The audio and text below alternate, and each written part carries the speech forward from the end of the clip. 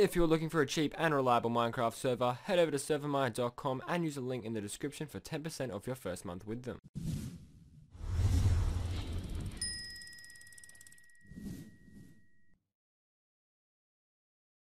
Hello and welcome to episode 22 of the mod installation series. In this episode I'll be showing you how to install the world edit mod for Minecraft. So the first thing to do is head over to the download page for Minecraft Forge, the link for this is in the description below.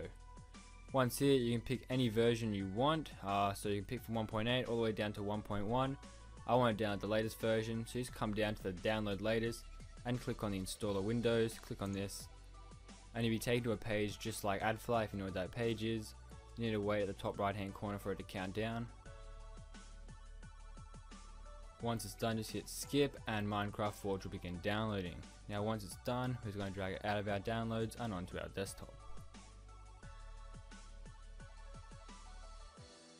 The next thing to do is head over to the download page for World Edit. The link for this is in the description below. Now once here we can see a whole bunch of different builds. Uh, we want to click on World Edit Forge 1.8.6 um, dist.jar. Um, so yeah, basically if you're watching this in, a, in the future, uh, there could be a newer version, so just look for that MC, the, the number after it, so currently it's 1.6, and you want to download the dist.jar and make sure you download the World Edit Forge version of it. So click on it, it will begin downloading and just like Minecraft Forge, drag it out of your downloads and onto your desktop. Now that we've done that, open up Minecraft Forge by double clicking on it. A little window will then pop up, make sure it has clicked install the client, hit OK, we begin downloading, then hit OK again. Um, now we're going to head over to our Minecraft launcher, we're going to open it up.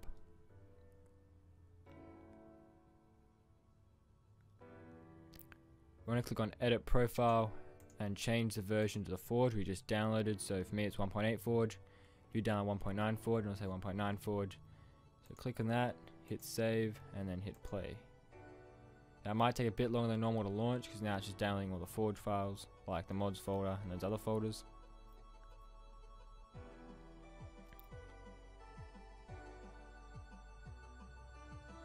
Now it's launched, just close it down and we're going to head over to our start menu.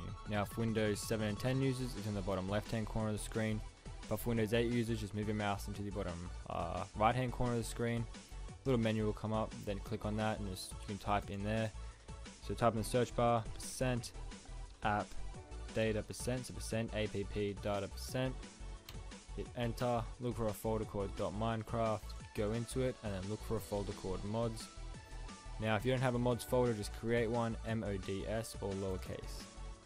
Now in here we're going to place the world edit mod, place it in there, close the folder down and then reopen Minecraft.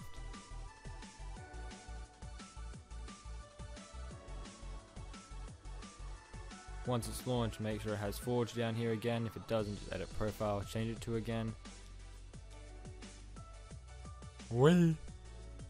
Now that it's launched, make sure it has Forge down here. If it doesn't, just go edit profile and change it back to Forge, then hit play.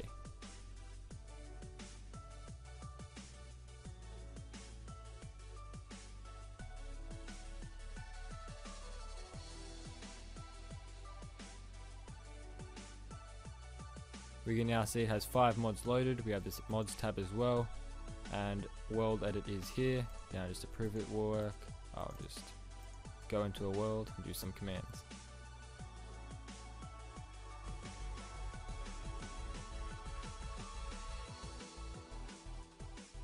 I'm just to go slash slash wand, so that's forward slash forward slash wand, and I have world edit working. I can select things, I can go slash slash grass.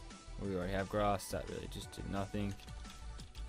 Stone, see, world edit is working. So that's it for this video. If you liked this video or it helped you at all, please give it a thumbs up, drop a comment below and subscribe because it would really help. Or if it didn't work for you, leave a comment below. I'll try to get back to you. So that's basically it for this video. Thanks for watching. I'm Feathered Gaming. Goodbye.